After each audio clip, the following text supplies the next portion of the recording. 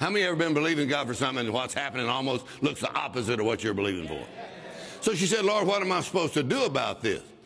I want you to praise me for my faithfulness to my word. Here's how you begin 1 Peter 1 8. Yet believing, you rejoice with joy unspeakable and full of glory.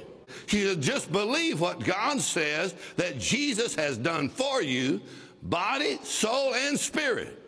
Think about it, talk about it, sing about it, shout about it, and the praise cure has begun.